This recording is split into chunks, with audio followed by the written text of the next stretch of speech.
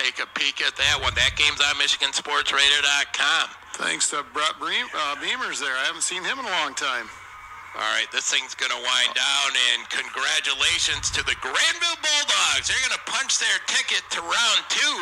It's a matter where they're going to go. Are they going to go to Kentwood? Are they going who knows? Hey, go to MichiganSportsRadio.com for the end of that game. We'll be back to wrap this up.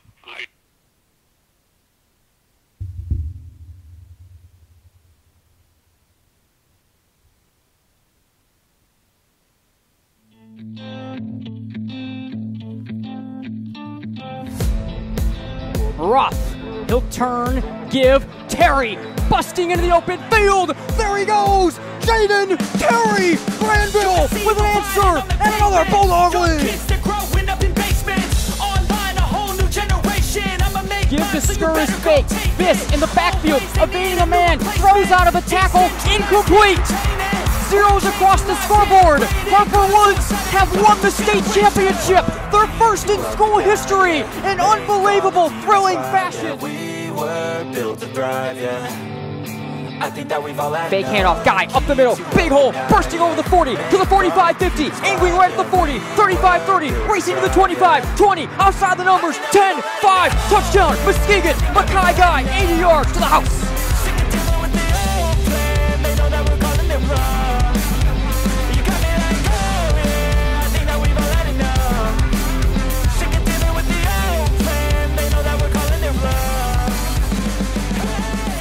And welcome back, everyone, to game night and our drive to Detroit show. And boy, this is uh, this is an exciting one. Let's just get right into it. The head coach of the Grandville Bulldogs is Eric Stiegel. He rejoined us, and of course, thanks as always, uh, coach, for joining us. And man, a win over Rockford on the road. We've heard so much from your guys this year about this idea of you know being on a mission and, and, and knowing how much has come into this season. What does it mean for the confidence? What does it mean for, for the program and for everything to be able to go on the road and beat Rockford in the way that you guys did last weekend?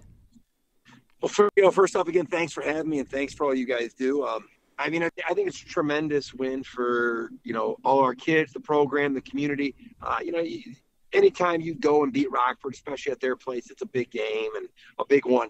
And, and, and as I told our guys this morning, you know, when our season is done and it's December and we're looking back, I go, you, we will I'm sure really look mm-hmm. back at this and really think about, you know, hey, wow, Grandville has not done this in a long time.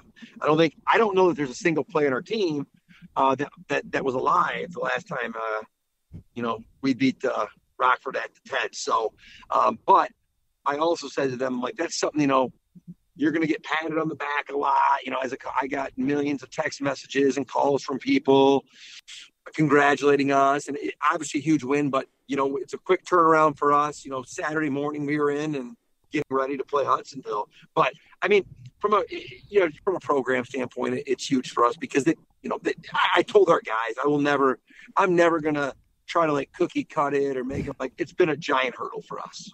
Um, and there have been many times that Rockford's ended our season at the TED uh, you know, preventing us from moving on, winning championships, whatever it is. So, you know, to do that, and really in the fashion we did, you know, I think our de- our defense was outstanding. Um, just played lights out. Best game, you know, maybe our best defensive performance in three, four years. Uh, just just played a heck of a game, and you know, play complementary football with offense and special teams. It, it was great to see our kids put that game together at that point of the season against a really good opponent, against a rival in, in, in a you know win or go home setting.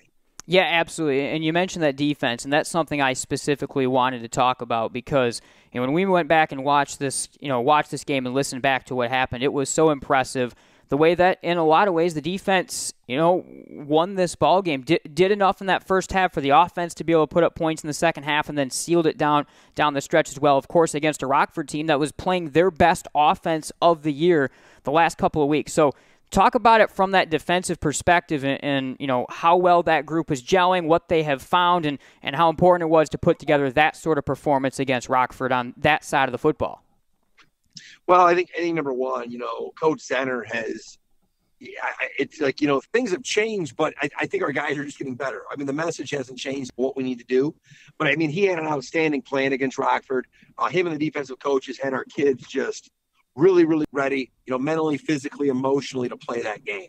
I mean, we were, you know, that defense was very, very, um, they were intense, they were emotional, but they were also in control and had, you know, had, had a great focus. You know, sometimes when you get so amped up to play an opponent, you know, you let things slip, you know, and then a trick play happens or you bust a coverage or you misfit a run and, you know, there's Isaac Poop for 80 yards. Mm-hmm. Um, you know, our guys played with you know just you know ba- basically again you know how, how coach you know his, with his mentality of you know we're going to go out there and we're going to be really really physical we're going to attack you but we're going to be really smart. We're going to rely on our teammates. And you know the message really was make the plays that come to you. And if the you know if the plays not coming to you you still have a job. But make the plays that come to you. Don't chase plays that aren't coming to you. And uh, you know he did a great job and our kids did a great job. Um, you know, and Rockford had they've been scoring a lot of points. Um, you know, in the first first game against us, I think they scored 37. Um, you know, they scored in the 40s against Kentwood. Uh, I think they were in the 40s against you know high 30s, 40s against Caledonia and West Ottawa. So, you know, very good offense, multi-dimensional, and uh, you know, for our kids to really go out and you know they scored the opening drive, but uh, they were the defense was putting some tough spots in the, in that first half, and um, you know, they just put their foot in the ground and got the ball back to the offense. But, you know, no doubt the defense was the star of the game for us. And, uh, you know, to keep winning in November, we need, we, we need that kind of play. You know, we, we need our guys to keep getting better on defense. Yeah, for sure. And, and you know, you, you, mentioned the offense, though. You know, first half, tight game back and forth. It was a three point game at the half. And in that second half, with the, the defense getting some stops, you saw the offense, you know, especially in the third quarter, able to find a bit of an edge, get a, get a couple of longer drives. Of course, Jaden Terry broke off a long run. What was kind of the key offensively? Because Rockford is probably the number one team that ha- has had an ability to slow your offense in, in, years gone by. What was the difference in this one down the stretch in, in terms of finding that extra offensive groove and doing enough in the second half for longer drives and also busting the big plays? You know, the, the the mentality that I wanted our kids to play with on offense um, was, you know, Rockford is so unique in in how they defend us, um, and and yes, in my time at Grandville, they they've been by far historically the best team that has defended us in my 11 years consistently. We've had other, you know, Hudsonville did a heck of a job this year. We'll get to that, I'm, I'm sure, mm-hmm. in a little bit. But, but you know, what Rockford does is so unique, and my you know my message to our kids was you know we hey we need to we, we need to get four yards. You know we got we get three yards for those are good plays for us because we get first we had to play for first downs. And and what i know is if we get first downs that's just we're going to be able to run more plays. And the big plays happen just because we're running more plays. You know we're not out there we're not out there trying necessarily to say hey we want to get an 80 yard run this play. Of course we want that but the goal is we got to get four. We got to get four. We got to get three, and we got to get first down. So that was the mentality there. Was just just trying to be physical at the point of attack, be physical with their linebackers. You know what we know with obviously Jaden Terry, Easton Sadinsky, DJ, you know, Ethan at quarterback, you know, our, you know, Gibby. We have guys that that are naturally just going to be able to make big plays when when it when it opens up to you again, be ready for it, but don't go out there hunting for it. So uh, we took care of the ball, didn't have any turnovers, and you know we might might have had one negative play, which is key. So we stayed ahead of the sticks. So we get to play the game and got to play the game like you know from our our vantage point of second and six is really good, second and seven is pretty good, third and four is good. You know, we didn't have very many third and nines. Um, so that that was that was what was really good for us. Yeah, absolutely. You know, you mentioned Rockford being a physical game and you know a great win in that one. Let's transition now to uh, the next step on the uh, on the district revenge tour, so to speak, and another certainly physical, tough football game with Hudsonville. You know this is right. this is a team that probably handed you guys one of your toughest losses of the season. You know so far. Uh, tell us oh, yeah. a little bit about what the mindset is getting a second chance against what's obviously a very, very good Eagles team that's on a nine game win streak now. Yeah, I mean, they are a really complete team. You know, you don't really look at them and go, oh, there's a weak point here or a weak point here. They're a complete team, um, playing really well on both sides of the ball on special teams. You know, their mindset, you know, to me, I think after we lost to Hudsonville the first time, and not that it, not that it hasn't been our mindset all year, but you know, one thing I really believe is that you got to keep, you know, the, the work that we put in in weeks one, two, and three, some of it's starting to show up now. Hmm. It's starting to click in. And I think our guys really made a an effort to I mean I know it sounds cliche, but just just to really try to improve incrementally, but you know, individuals, personnel units, uh, position groups, just really put the focus on improving our fundamentals. Uh, and, and, and it generally, your execution is going to look a lot better when you're fundamentally sound. So I think I think that we've tightened up some of those fundamentals on offense and defense. I think we're better there. Uh, to me, that to me that's what's going to be you know going to have to be the difference for us. It's not a you know, it's not we're not we're not coming out with five wide receivers to go with these guys or anything like that. I mean, they have a pretty good idea of what we're going to do. I think we have a pretty good idea of what they're going to do, and it's the it's the teams. You know, it's going to be the team that I think fundamentally executes the best, and, and, they have some tremendous players. I think, I, I think from a from an offensive standpoint, they have the most complete again, the most complete defense we've seen all year, um, with great tacklers everywhere. And I, I think especially like you know their front seven, eight, all their guys can run up there. They're all pretty big, um, and they're physical. So again, you don't look at it and go, well, we can run at this guy. Um, like maybe some weeks you have that. So the execution is going to have to be at a high level. Uh, you know, with, with, with our fundamentals and physicality really, really, really clicking. Yeah, absolutely. And I think, you know, the other thing that's interesting, you kind of mentioned your offense matching up against their defense and a well known matchup there, but I, I think the X factor might be moving to the other side of the ball with, with, how well your defense is now playing down the stretch. This is an offense that, you know, they have they have a lot of playmakers out wide, but also they, they want to, you know, in particular, be a physical team, couple different running backs, great offensive line. What are the challenges and what are the keys defensively to, to trying to slow down their offense a little bit more than what you guys were able to do the first time around? Yeah, I think you said it. I think they, they obviously they are they are a I would almost call it like a wing T buck sweep, like you like Delaware wing T team out of the shotgun, mm-hmm. playing with tight ends and wings and you know two backs uh, and a quarterback that can run tight ends that are physical and offensive line that's very good. You know, like they want to run the ball. Uh, there's no doubt about it. Uh, but the, you know, with that said, they have some they have some receivers that can really get down the field and make plays with the ball. Uh, their quarterback is a good runner and a good passer, so he can add in the run game, um, and can add in. You know, he, he, can make plays in the pass game. Um, you know, I, I think from a standpoint, you know, for us, I actually think we played a decent game on defense against them. We got to be better. I think our offense, you know, our offense, um, you know, turned the ball over to them and, some poor things, and and wasn't able to get, was not able to move it in the in the second half when the defense was getting stops. You know, I think, however, I think you know some differences. I think for us, you know, number one, Brett Becker is kind of taken more of a full time defensive role for us, and he's been really good. Uh, you know, he's just to me just one of the best football players in the OK Red. Um, he's an undersized offensive lineman, but he is he brings it. You know, at, at both at offense and defensive lines. You know, Easton Sadinsky's played well for us at corner. You know, we're using we're probably using Jaden Terry a little more on defense now. Um, and I, I, I think you know a luxury for us is that you know we're kind of getting back to being healthy again. Mm-hmm. Um, you know, where you know even a guy, you know, we, we're hoping to expect that even Garrett Rocky's not wearing a club this week. That's our hope, is that he's able to play with two hands. Um, you know, um, you know, obviously Jay Weiss coming back a couple weeks ago is kind of that's kind of given us some more depth and obviously giving us back one of our big guys. But I think on defense we're able we're able to get more guys on the field in different personnel groups and kind of match up a little bit with what people want to do. Uh, and I, I, think Coach Zenner has been great with that, uh, knowing knowing in, in different personnel groups who we want to get on the field and trying to create advantageous matchups for us when we're on defense. He's done a heck of a job with that. But I, I, think more than anything, he's done a good job of getting our guys to be physical at the point of attack, taking on blocks and you know physical tackling. I think we got to tackle better than we did last game against Hudsonville. We got to be more physical up front, and we got to defend the ball in the air. They did a great job of coming up with some balls where we're in position, but their their guys went up and got it, and they had some good receivers but we got to go up and contest those a little bit better.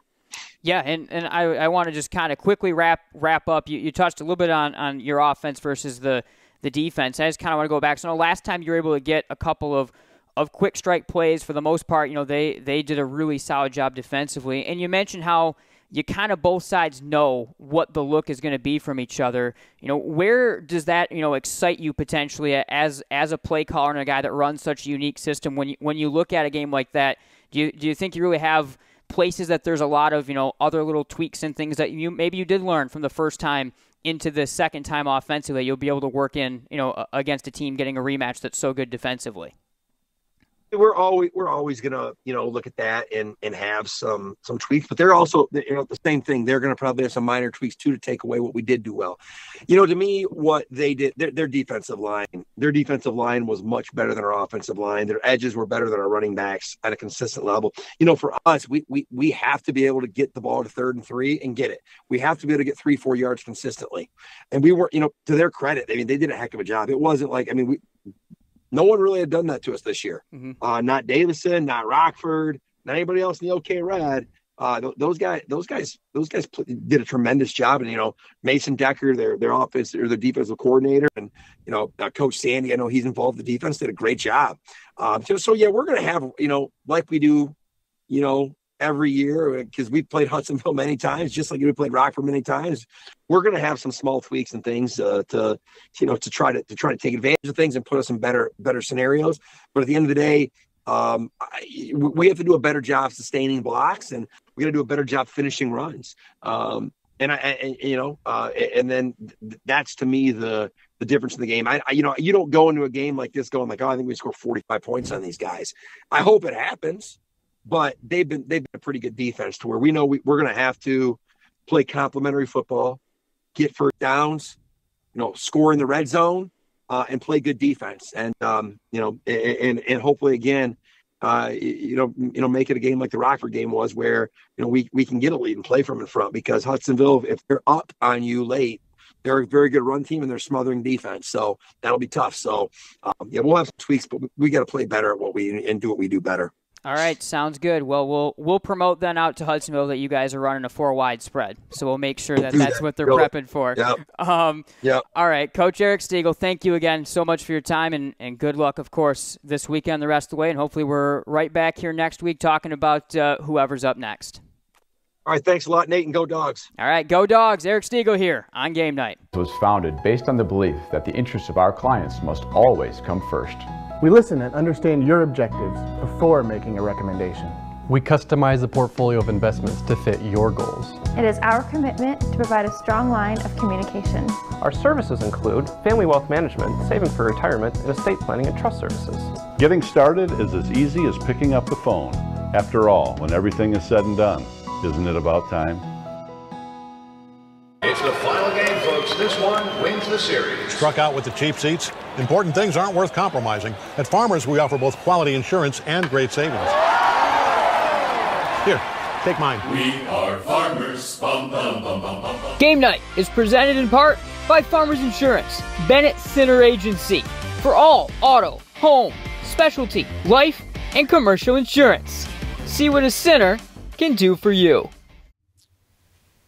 Right, welcome back uh, into the program. As always, thanks to uh, to Coach Stiegel, and well, since we didn't get to it at the top, of course, follow on online at MI Game Night and whatever. We've uh, we've been planning that segment for five years now for this show for what's going to happen, and let alone winning a game in Rockford, right. which of course happened. And uh, we went we went right to Coach Stiegel because I figured that's the guy to, to go to right away with, mm-hmm. with that interview. Probably not us. And uh, so yeah, let, us let's, let's break down a little bit uh, of last week on both MGN and Michigan Sports Radio before we get into this week's games. And again, I apologize to to everyone that we are not going to have the Grandville Hudsonville game. Our Hudsonville crew has it.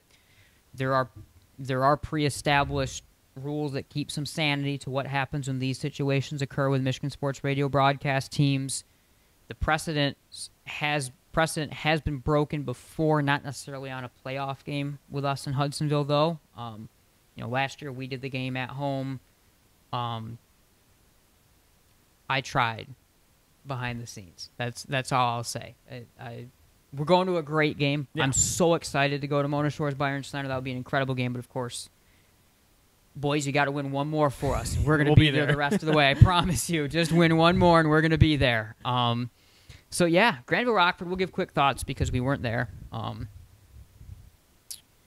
I think first off, and this is something I kind of asked Coach Stiegel about it, but we're going to talk. You know, this means a lot. Not Mhm. just that they beat Rockford, but that they go into Rockford. They beat them in the playoffs for the first time in ten years. I think Coach Stiegel said that they have Grandville hasn't won at Rockford in like since these kids were born. so like, this means something, and it means a lot to go into Rockford. We'll talk about why this performance to me is super and super and heartening and Mhm. and heartening, heartening, whatever you're supposed to say. Okay. Good feeling. Yeah. we'll go, we'll talk about that, but just on the surface level, to win a playoff game against Rockford at Rockford in the way they did in that second half, that's a game that didn't go perfect. No. And they won it at Rockford. And it's that's huge for this program, not just this season. Yeah, it really is. I think, you know, going back for the, the years that we've covered this team, that's kind of been the one hurdle that uh, kind of remains to be leapt over to this point, and was uh, Rockford was always the team kind of standing in the way, whether that was winning the OK Red or whether that's trying to get out of the district round of, of the playoffs. And Grandville's had some really good teams over the years. They've come really close, beat them in the regular season. Um, but in order to, to beat them and, take that next step, you needed to, to beat them in the playoffs, and finally able to do that. And yeah, I think uh, Coach Stiegel, I'm sure, will admit too that there's some mistakes that were made. Things could be cleaned up, no doubt. But the fact that they got that one done uh, last week, we sat here and talked about. You just need to see it. You need Mhm. like there's things that line up on paper that you get some of the guys healthy. You know, different struggles Rockford had that things line up that hey maybe this can happen. And we didn't want to be too overconfident Mhm. last week in predicting that, but now to actually have seen it, it's on the field, and now this is kind of where you can start to turn some of the momentum in the rivalry, where you've got a playoff win on the road. Now you start looking forward into next year, and you've got guys that have won this game, and uh, you hope to stack a few together. I wrote about it in my four downs column, the the exercising of demons, really Mhm. that happened. That I mean, listen, I, I don't want to put it on too big of a pedestal, just knowing how good year over year, of course, Rockford's program is still going to be. But you and I, I think everyone knows that we're Michigan fans. So you and I were at the Michigan Ohio State game in Mhm. 2021, and there's an element of this that potentially feels similar because it's you know kind of the team that had struggled for in this game. This had been their boogeyman game for Yeah. years and years and years. You go in, you win it your way, and you just beat them. Speaking, let's just talk about how they beat them. the defense won the game. It did. I mean, I know Coach Stiegel, you know, Coach Stiegel, you know, alluded to that as well. But it, we can say kind of point blank, the offense had moments, some drives that stalled out, some moments they gave up some bad field position, and the defense said, whatever. And until the end, when there was a short field, they only gave up seven points to a Rockford team that scored 40 in three straight weeks. And they put up big points against Caledonia. They put up big points against a lot of teams. They they put up more points when they played Hudsonville than they did in this game.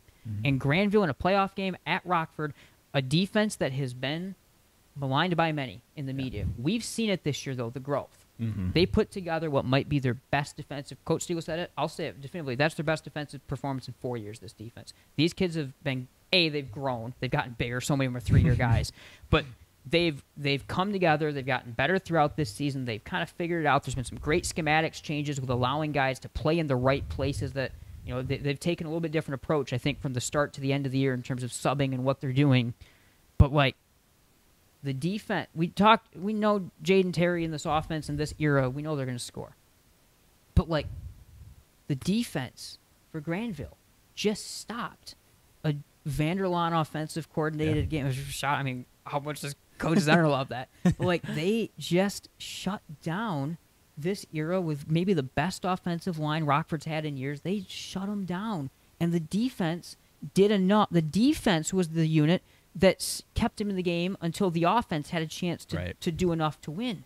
That's not how I would have planned it to go. But if that is how it went, that's a big flipping deal. it sure is. I think, you know, even at the start of the season when uh, it was that tough part of the, s- the season, the first three weeks, and they're playing these really difficult opponents, and they're getting into these shootouts, and Mhm. it kind of looked like it was going to be some of the same story where the offense is definitely going to carry the mail a little bit. They're going to put up big numbers. The defense is kind of just you got to find a stop or two, and early on, that's kind of what they struggled, and you kind of felt like it was going to be the same story over again. Where if you're going to beat uh, some of the playoff teams that they would likely be facing, mainly Rockford, you're Mhm. you're going to need to win a shootout, and to see the development to where the first couple weeks they're giving up 50, 40 points, even 30 points to Jenison, to now the last couple weeks of the regular season, West Ottawa three points, Caledonia held them to basically a touchdown until late in the game with the first unit. Uh, is out there, and now to do this against Rockford, I think fully solidifies that this defense is legit. That they've kind of found some things, you know, whether that's schematically what they're doing or kind of finding the rotation, getting some different guys out there. Uh, some of the guys that are seeing offensive snaps, getting them playing both ways and critical downs, and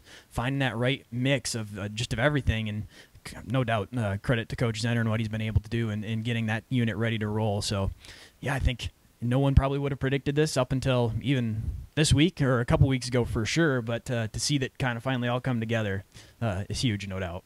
Yeah, you have. I was just.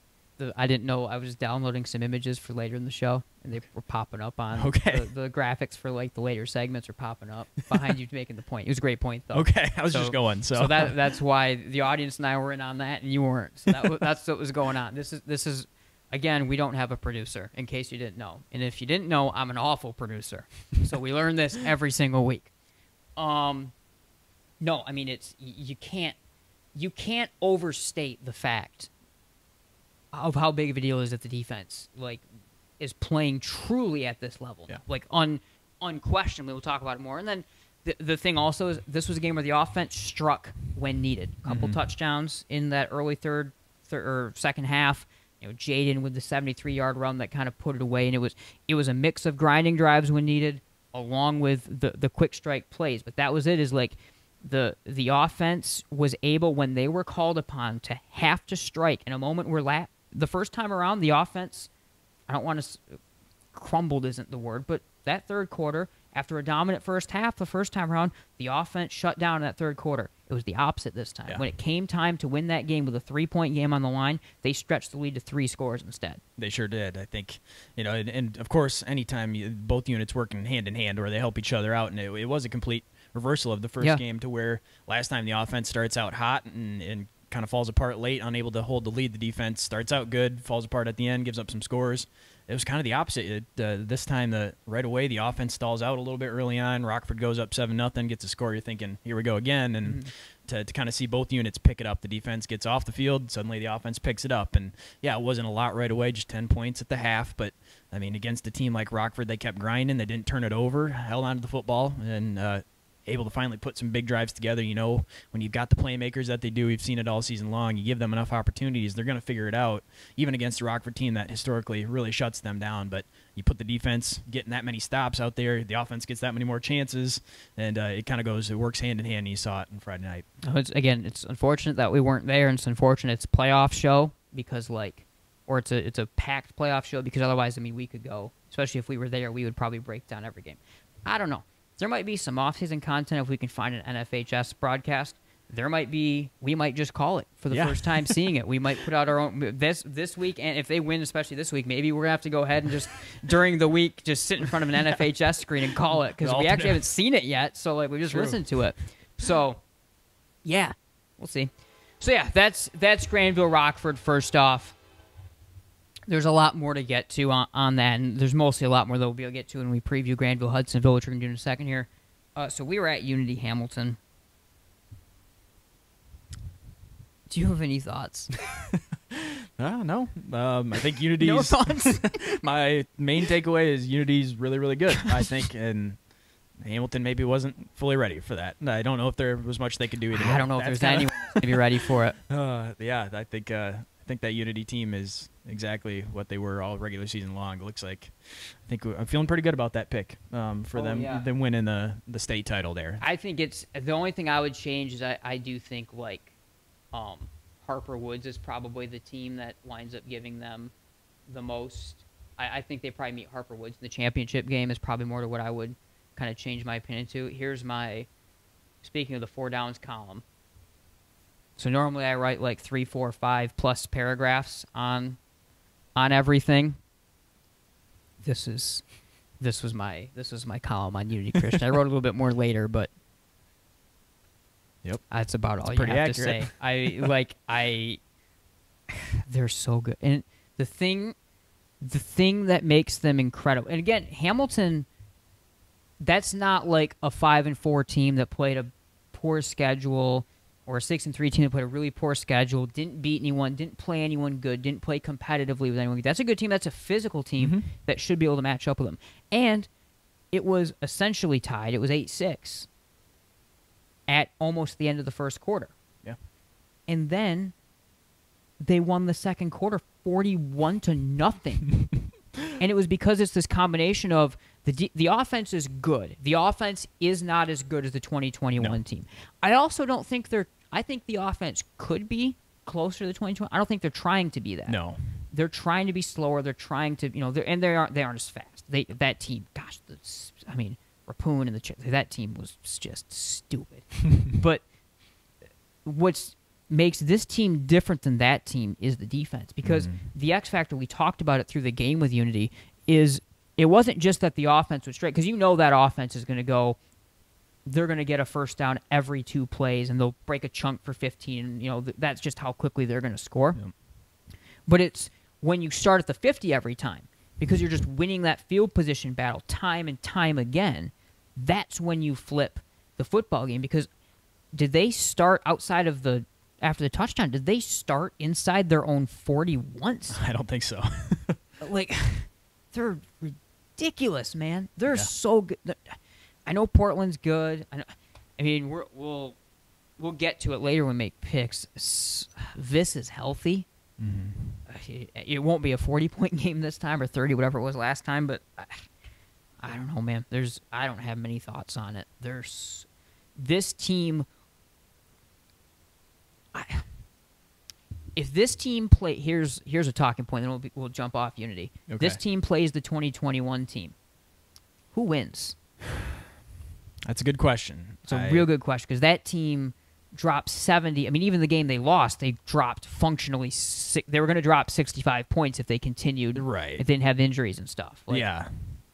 No, I, I don't know. I mean, that's kind of something that'll be determined, I think, a little bit by these next couple Yeah. games for sure. But yeah, I think it, it matches up really well because, as you kind of stated, the the one thing that Unity team from the championship game didn't have was the defense that this Unity team does have, and the defense was still great on that it was team, still good. but, yeah. yeah But I think the the difference in how much more physical and the the players that this defense has is what's really going to carry them even more. I, I think you- you hinted at too that this offense probably has another gear yet that we haven't fully Yeah. seen. I think We saw it at points. You still see a little up tempo. I think Coach Tibia, of course, has that waiting yet for if the, it gets to a matchup where they're not just dropping 60 points on 50 yard drives every single time that uh, they can kind of go to that and, and I think some of that is still there for them to be even more explosive but I think the the thing that sets them apart from maybe that team is their ability to have fantastic field position every time because of how stout that defense is. Yeah, I think, and it, it's not a great matchup because it's like it's such a unique system. Like if you're talking about them actually playing head to head, because it's not like two like normal systems playing each other, where it's almost like two normal teams. It's the same thing.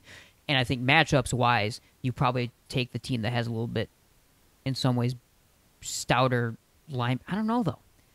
That that team did score the most points in the history of Michigan high school football though. Yeah. That's what does like stop me a little bit is it's like the only thing that stopped them. I mean, we can talk a lot about. There's a lot of things to break down from that game. There's been so many postmortems years. done on it, and I still have like they were so banged up. Rapoon was completely out that game. Both Chandlers were nicked. Mhm. I think we found out after the game that which which one was Cam Chandler the quarterback. Yep. Yeah, I think we found out after the fact that he was more banged up than we even thought. Like it, I, I injuries is what happened in that second half. Now, also, I think they probably could have kneeled the ball for two quarters and won it, but that's neither here nor there. They just didn't need to fumble it. Right.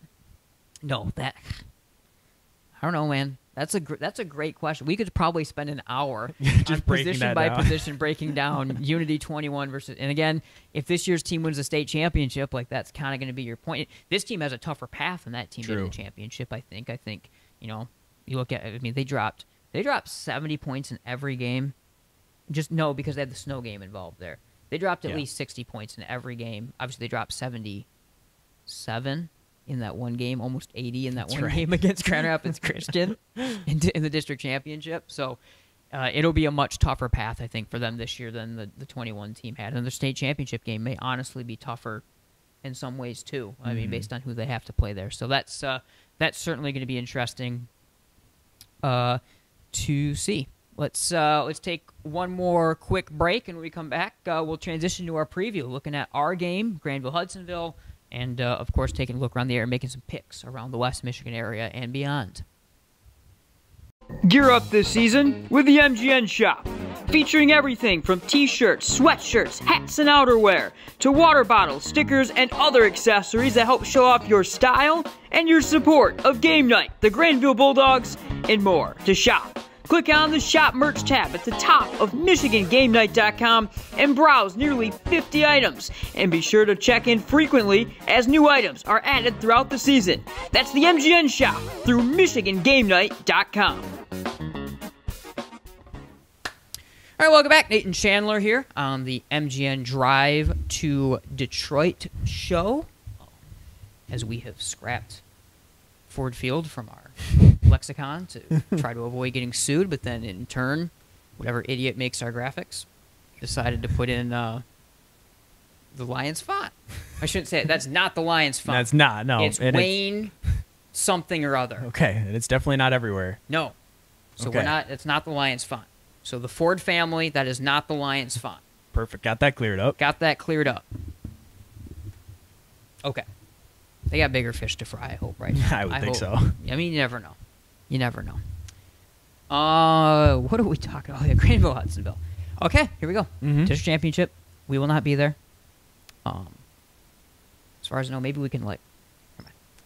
I was gonna like suggest like kidnapping or something, but like That, that's too far. that's too far. Okay. Uh, we will not be there. So this game, though, what what set it up thousand foot view. Um, it is to me a very different matchup than last time, mm-hmm. and I think.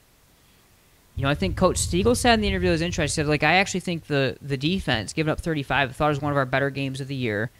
You know, I think the the offense with some turnovers, and some things put the the defense in a bad position, and that the offense is the the unit that needs to play better. While the defense also is playing a lot better. The offense has, you know, they're they're healthy across the offensive line between Jay and you know a couple other guys that were nicked up that are better. Like, it definitely feels like you know, it, it, it feels like a game that just has a different vibe. Again, one team needed a fire drill field goal to knock off East Kentwood. The other just slayed their ultimate boogeyman. Mm-hmm. So there is a different vibe coming into this game that I think Hudsonville is still the favorite. Yeah.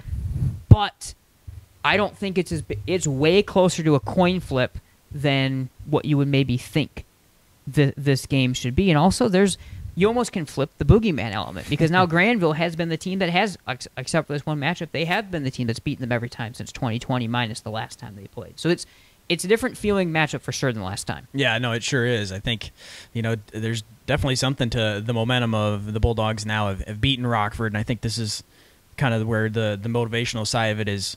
You, you, obviously, that means something. We just got done talking about how, how big of a win that is. But if you're the coaching staff and everyone, you're kind of like saying, in order for that to mean something, we need to win, we need to win this one now. this Yes. is the the Rockford win means nothing if you don't win this one, and um, I don't know if that's fully true, but at the same time, that's what you need to think going into it. And so I think there's definitely some optimism, at least uh, from where we sit, that this is a team that they've beaten in the past. This is a team that, yeah, has given them some really tough games, and they've gone back and forth. we are never optimistic about Grandville, of course. no, and definitely not over the top ever at any point. But no, I think there's some optimism that this is a team that they can beat. They feel like that. Uh, of course, it's going to be a tough game. Of course, uh, Hudsonville's the favorite going into it, and they've already beat them once this season.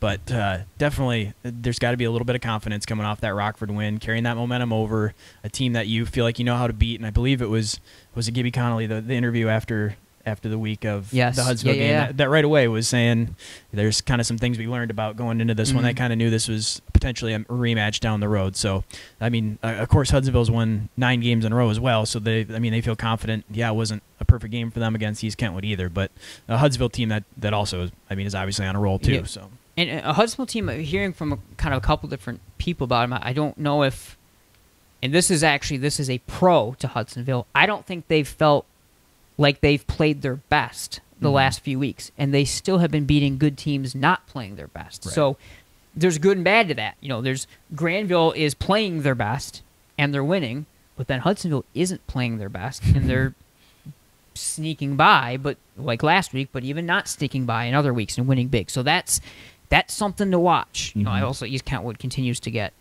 a lot better as this year goes. I mean, we all know East Kentwood is going to be a problem sooner rather than later, especially because I think I think Coach Spencer is going to have some some dudes come. You know what? I think the the Curt Cignetti uh, strategy of bringing some dudes in and you know saying Google me, you know Google Ty Spencer because you'll find out what he's done. Um, Ek was such a sleeping giant. That's going to be they're going to be a problem. They're going to be a Mhm. problem. Like a Rockford even has to deal with problem. Right. I think one of the things, though, that's going to obviously come in, this is a game that will a thousand percent be won in the trenches and at the linebacking core because both teams want to run the ball. Coach Stiegel you know, described that offense that they run as almost a little bit of like a wing T from the shotgun type offense. We'll talk about that with um, with Byron Center um, as well a little bit later. And of course, Grandville Grandville runs the power T, despite some of you kids on the Grandville team this year keep calling it the wing. I forgot to bring it up. Here Coach we go. Ed. This was just a matter of time. Some of you Grandville kids keep calling it the wing T. A couple of you on the interviews. I didn't, I didn't fix you then, but it's not a wing T. Wing T is a different formation. You all know that. Yeah. It's power T. It's the Michigan power T. Two tight ends, three backs, all behind the quarterback in full house alignment. No one on the wing. That would make it a wing T.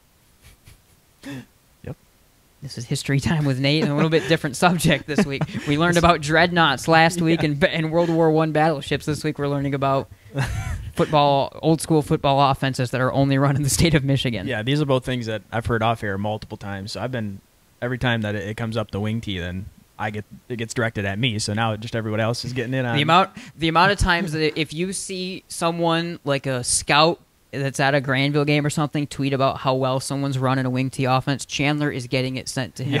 Half the time, probably getting sent to him from the MGN account. Uh-huh. Because oh, Michigan game. Oh, Nate's mad about someone calling it the wing T again.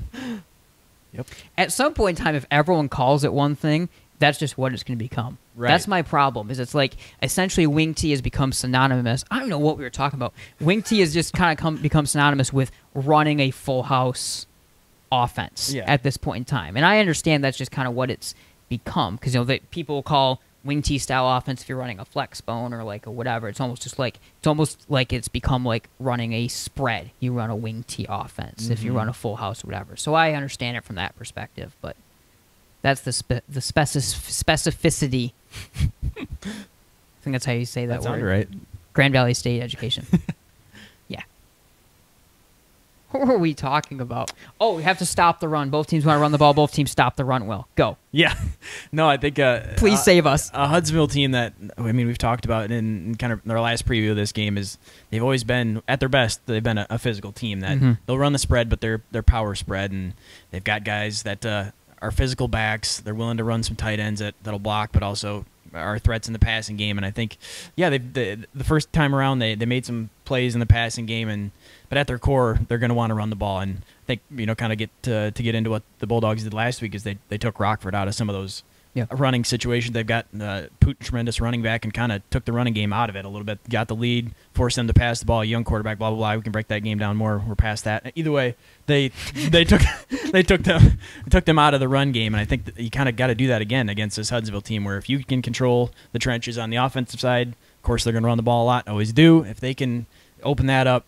And then force Hudsonville to play from behind or, or from a deficit and get them out of the run game a little bit. That's uh that's going to be the battle. Well, th- there are a lot of similarities between beating this Hudsonville team and beating that that Rockford team. I think it's fair to talk about like, oh, they conquered Rockford, so now they can do it or need to do the same things against you know against um, Hudsonville. I I think the main thing about Hudsonville is I believe they've found their identity, and I think they actually found their identity in that playoff game last year. I Mhm. feel like that's when a light kind of switched for this group of what they wanted to be. You know, I think Van Lake is being moved around as an athlete more, not necessarily just quarterback. Griffin Baker settled in his role, running the ball. You know, essentially, like I said, wing T from the shotgun a lot of times, like Coach Stiegel said, a couple tight ends or at least power spread.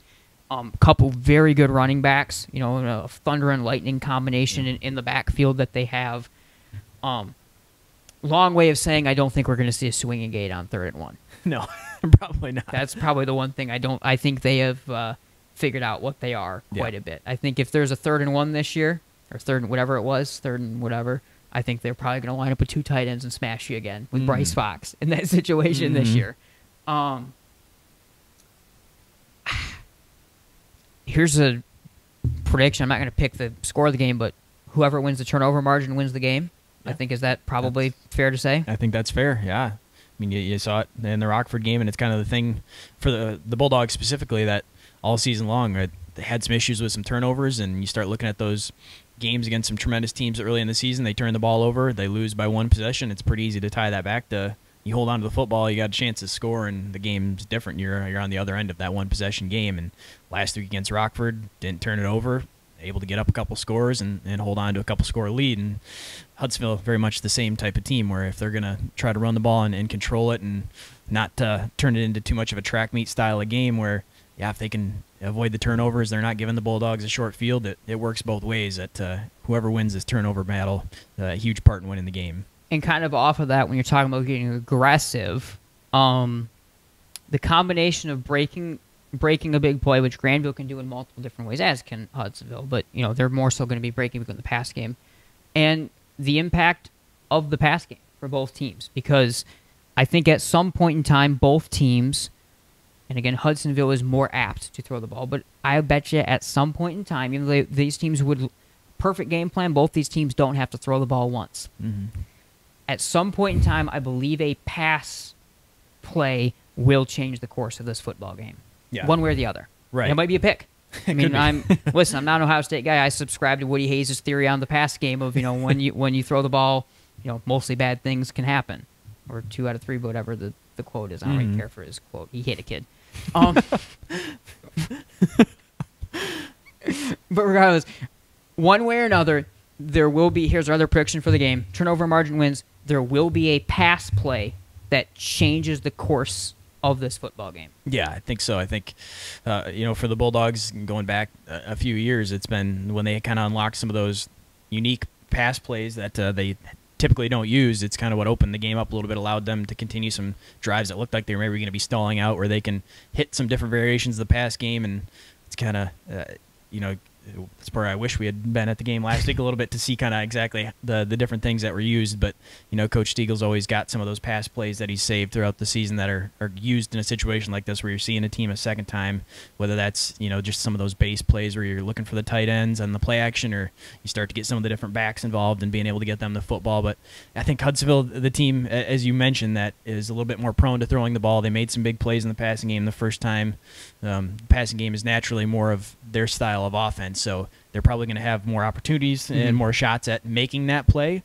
But uh, yeah, it's all about the the timing and who's able to find it when they really need it. Yeah, and also if they're looking to do it more, that opens up the opportunity. Does Josh Crater or whoever Yeah. else get you know get a, get a pick that maybe the big play is a negative big you know Right. big play. Um, no, or wait, as Coach Stiegel, as I said with him at the end of the interview, Grandville running a four wide spread, throwing the ball around. Yes, that's right. So That's we have to make sure. Yes, that's back this week. as it was as it was here for that Rockford game or whatever we promoted it last. Uh-huh. It's back this week apparently. Okay. Keep that in mind. So Hudsonville, you're prepping for the four wide Mhm. spread. This show has lost any integrity as I sit here saying this wearing this shirt. yeah. Was this is the top selling shirt by a mile in the history of our shop. Mhm. And top selling shirt in general in terms of non MGN versions of the shirt. Most plagiarized. Most plagiarized shirt. no, I don't care. It's I mean, if you if the school or the team was able to come up with a higher quality one than our, our one off printed ones from Teespring, that's whatever. I'll just I just want credit that I came up with this. I want team at Ford. I'm I should wear this to Ford Field if they make it. yeah, you have to. I don't know if I will. we'll become that guy. Like the one year at uh, the Breslin. Were you there when that team from the UP won for like D? I think it was that two years ago when we were doing the Muskegon game. The team from the, and like the one guy like jumped on the court to celebrate with the team from like the radio row or whatever. that was funny. That would be me. I'll jump from the top row of Ford Field down there and a rappel down. yeah. You're getting down there somehow. it might hurt, but You're right. so that's Grandville Hudsonville. We're getting way ahead of ourselves, but uh, you know, good luck to the team. Mhm. Here's where we're at. This is a great game. We're gonna be outside. We're gonna be on top of the press box. It's not gonna rain, thankfully. Hopefully. Um, hopefully, good word to use. Um, it is gonna be. cold. Have you seen the weather? It's a have low of 39. oh, perfect. Okay. So yeah, yeah. Uh, what a game! 14-12 though. The first time they played. Um, I expect the same. Two teams again. Powerful ski gun attack with power spread. They do a little bit of everything, a little bit of that kind of wing tee from the gun with Laska as a wing mixed in for Byron Center. I mean, it's it was 14-12 last time. I would not be surprised if it's almost the exact same or maybe even lower scoring this time in a lot of ways. These teams are going to pound on each other. It's going to be, I was telling you before, this is going to be a very high level football game that might look sloppy and low scoring because they both play in the trenches at such a high level that I think it might wind up looking like a kind of stymied slugfest, even though it's being played at a really high schematic level. Right. Yeah, I think uh, you know when you look at some of the all-conference players from the regular season and the offenses for both of these teams get a lot of attention. They've got some stars on the offensive side of the ball, but yeah, you look at that first matchup and, and just how uh, how big the defenses were for both teams, and they don't get as much of the attention uh, as they probably deserve. But uh, two teams that are really physical can, as you mentioned, control the defensive line in the trenches. Got some tremendous linebackers and secondaries that can hold up against solid passing attacks from either side. And there's no doubt that uh, in a tight game like this, in a district championship style of game where these two teams already really slugged it out defensively, one time we could see the exact same game being played out again. Yeah, and I was gonna say, I was I was about to say, um, arguably the top quarterback game in the state, but actually not arguably because Bryce Underwood and whatever the younger Carr at Saline No, are that's right. are playing. So not quite. um, but uh, former future Michigan quarterback Bryce Underwood. Yep. We'll say on the show for a second straight week. But the quarterback battle, three year plus starters. Tungate was up as a as a freshman. They do it differently. I mean, you can kind of break that down, but this is a this is as good of a quarterback game for sure as we're going to see in West Michigan with Pittman. What he does as a thrower and a physical runner, then Tungate as a run it 15, 20 times a game runner and also a passer. Yeah, both guys that are extremely effective and have been tremendous playmakers for years. Uh, I think Tungate, uh, a guy that is just uh, really dynamic with his legs, and of course has some receivers and they throw the ball quite a bit as well. But his ability in the run game, whether that's designed runs or whether it's on those designed rollouts where he's going left or right, and it's it's not an RPO by the typical definition of it, but it's essentially he's rolling out. There's routes down the field, and if the coverage isn't there, they're playing man, whatever. He can take off and run. And he just Mhm. makes these big plays, and so I think he's uh, probably more of the threat with his legs. Of course, still does a lot through the air as well. But Pittman, a guy that's just a stockier quarterback, guy that's going to stand in the pocket, has a big arm, can deliver the ball Mhm. down the field.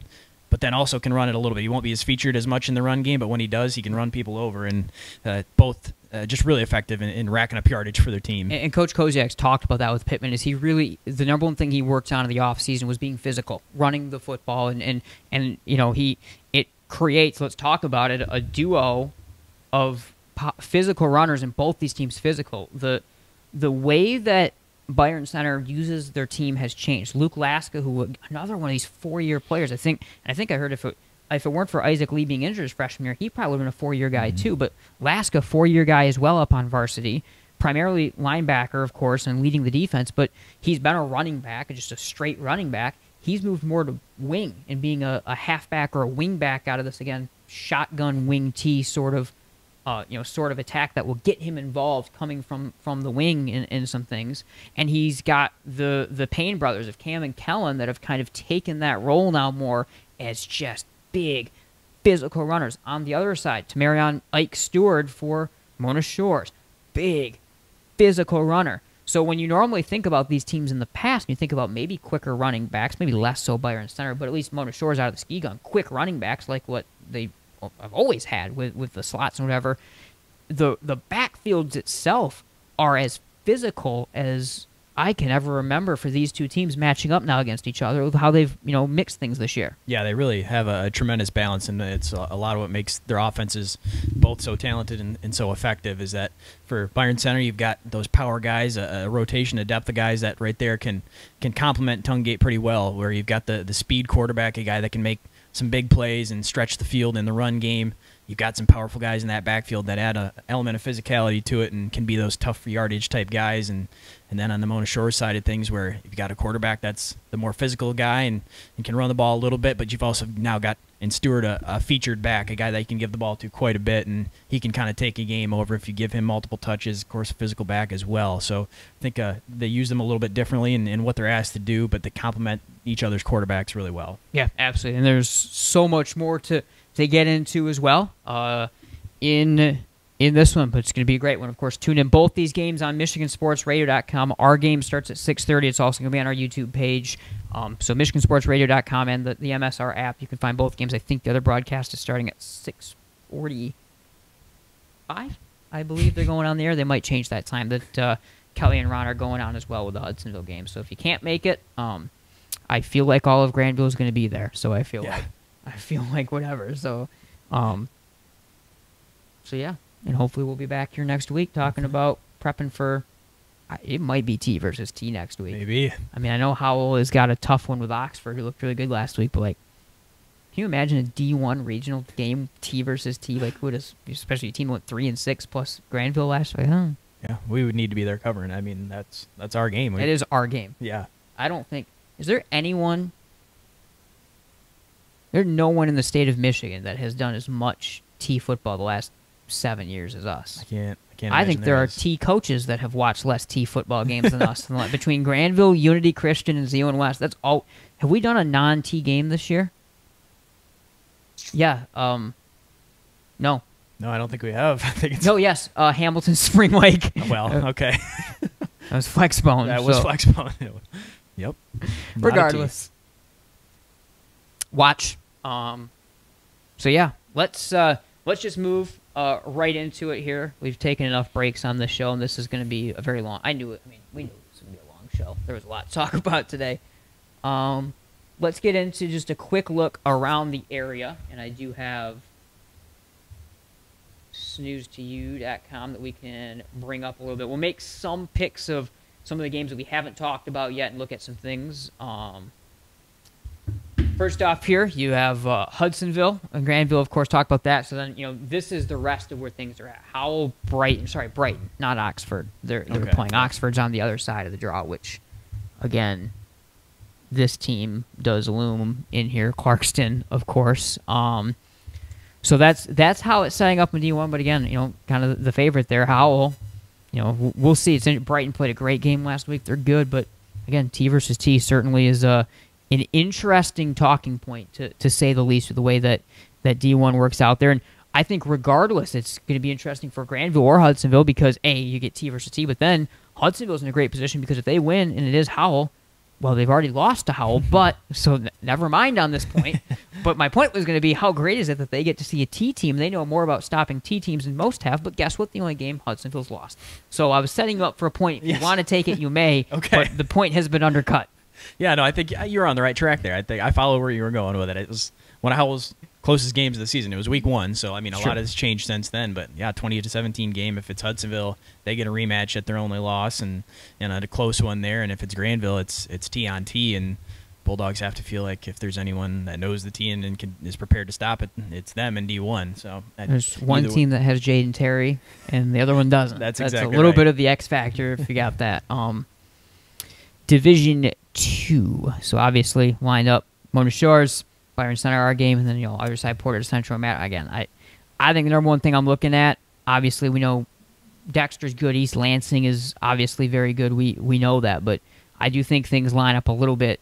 This this might be a game that determine, determines who goes to Ford Field this weekend that we got. Yeah, I think so. I think it's kind of what we had talked about when we made our, our picks earlier. Is uh, this is a big one early on in this district championship. Whoever wins this one uh, is set up really well to go on a pretty deep run. Division three. Let's uh, we can make some picks in this one. Dewitt, I think, beats Lowell. I, I think Lowell's a good team, but uh, Dewitt is a monster this season. So really, St. Joe, Zeeland West. I would say we both, well, we both picked Zeeland West to win championship. But regardless, I think you know they're the favorite. So really, the most the most interesting game here to me is Coopersville Forest Hill Central. So Forest Hill Central plays a seven nothing game against EGR last week. I think Forest Hill Central, obviously the the favorite. They're the one seed in this one. I'll say it though. I love the pass game. um, with Bo Harris and Brooks Haddon that could be an X factor if this is a grinded out type of game. I actually think Coopersville is going to win this one Really? over FHC. Okay. Yeah, when I was uh, filling out my brackets uh, a week ago, I I had uh, Forest Hill Central winning this one. I think I think it should be a really good game. I think uh, the Coopersville has been a, a really physical team and Hmm. and can can grind it out as well as anyone. So if we get a, another similar game to what FHC and EGR just played, could be a really good one there. But I I think I'm sticking with Forest Hill Central. I mean, I think it's. I think it'll be really close. And I so, so JJ Hurtis for the lineman at offense or stud lineman at uh, Coopersville. He just decommitted from Western, so I don't know if that's a Western related thing more so. I think a couple guys kind of dropped in there, or if it's a I have Power Four offer or something. I mean, if you remember, Gabe Van Sickle did something similar, committing very late to um, Ohio State. I think he got his. What, what do they do? They do that stripe. But I mean, again, I go from the kid, Great West Michigan kid, but you know, like whatever. he got the stripes or whatever taken off his his black whatever they do that the black stripes. He can't play until then. It's their form of a red shirt, but he still is red shirting. Or Yeah. they have, they've got weird traditions down there. I like losing to Michigan every year for the last three years. uh, you can't even see us talking about this because I already have the next game up on screen. This is the one I think I want to talk about for the longest this segment. Unity Christian South Christian. So my question to you is: obvi- I think we both think Unity wins. I think. I think. Okay. Uh, we, I I think Unity wins. Yeah, I mean, I think Unity wins as well. I think we'll break it Uh, down. Okay. Why the, there slight concern potentially, but Right. So Carson Viss is back. It, the fact that Viss they lose these four games in a row, and then I found out later that it sounds like Viss was not 100% healthy and moving correctly, and now he's moving well and they're winning games again. It puts something in there because it if there's one team from the area that can maybe extend plays, do enough to beat pressure, do something over the top to score points with you, if uh, score points with Unity, it might be a healthy Carson Viss led South Christian. That's the only reason why this game gives me a little bit of pause. yeah, I think so too. I think uh, for the way it was looking there for a little bit for South Christian, you kind of assumed they were down and out a little bit, and this Unity team would would roll them a little bit. But uh, yeah, it's so hard to, to bet against a healthy Carson Viss, and after what we've seen him do the last couple years, and going into the season, he was one of my picks. Uh, South Christian as a team, and, and him leading the way were prediction to be back at Ford Field, and Yeah. things have changed a little bit since then, and they're gonna They have to be team of the year, right? I think I think they were. Yeah, I'd have to look back to see. I know I was pretty high on them. Just uh, visions of that state championship game Mhm. from a year ago where he just went crazy, and so it's kind of that's always in the back of your mind is that if he does something like that, if he's you know the the brightest star on the field that day, and and he do, just goes crazy and, and makes some plays. This is kind of where you know what we talked about earlier with the Unity team is is figuring out how good that defense is. Yes. is if if they're holding Carson Viss in check and, and they keep him, he doesn't rush for many yards. The passing game doesn't really get going. That's where I think the Unity you start talking about this is an all time great defense for them. And that's the. I think we know how good the linebackers in the front. You know, I think the front seven, front eight in general. I think we know how good they are. For me, the question was: they look great against Hamilton. Mm-hmm. How good is that secondary? Right. In I tend to believe that secondary is that good. Right. But that's what we're kind of yet to have to to learn. I think um, a little bit um, exactly. On to Division Five, um, West Catholic, Catholic Central. West Catholic the favorite to win this game. I think we both certainly would say that. Um, but you got to beat the reigning champs to, to get to be the champs. I think, like other divisions, again, Frankenmuth hanging out in there is really good. They're playing Belding. Um, I think this is another win this game, go to the state championship type of type of game, and maybe be a state champ. I mean, last year this was essentially the state championship game, and it even with the way that Central or Catholic Central has struggled a little bit, it might be a little bit of that again. Yeah, I think so. I think just how many state championships between the two of these Yeah. programs and just so much history there that uh, yeah, this was one where we're picking the bracket as well. I think I felt good about West Catholic. Uh, the path kind of clears up a little bit once they get past Catholic Central, and, and felt good about them winning the championship from there. It's just uh, it's you got to get past them by most accounts. It's a Catholic Central team that's down a little bit this year from compared to what their standard has been the last couple of years. But it, it's also hard a team that's won that much in the past. Hard to bet against them uh, in a setting like this. Yeah, and, and by the way, we have uh, I forgot to say we got snooze2.com. He's got the playoff bracket as well. It's one of the easiest to operate playoff brackets, so I want to make sure I shouted out what we're using. Lastly, D6. Don't have a ton to talk about. Just most want to talk about. This is actually a really good game. Couple conference rivals, but um, uh, Ralph Munger's still coaching. yes. So uh, yeah. Where did he coach before? He, uh, Frankenmuth. Okay. Yeah, Frankenmuth. That's and then, what it was. Uh, I don't know where he was before that, but then he wasn't there anymore. And I wonder if the team he used to be at is still playing while he's still going. They must be. They I would think. You wouldn't. You wouldn't go with a younger coaching group to get rid of Ralph Munger and he's still playing, right? I wouldn't think so. I don't think so. We'll have to look into so that. Nuevo a chance to win a district champ, which is I mean that is really cool for for Ralph to go in and kind of show. We've talked about it already, like he's kind of coming and gonna do it his way. And at that level of the sport, you certainly can. You know, in, in down in D six, you only you only got 30, 35 kids on a roster, and you have to have every single kid able to play a role. It's been kind of cool to, to watch the, the progression there at, at Nuevo over the last couple of years as they've exponentially gotten um, a lot better here. That'll wrap it up. This is a pretty long show for sure. I don't even know how long it went. This is well over an hour. I know that much though. I think.